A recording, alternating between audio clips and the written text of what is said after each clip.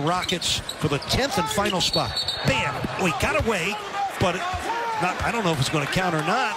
It's going to count. the call is. It's going to count. And it, referee, watch this replay here. Watch what he does to Patty Mills.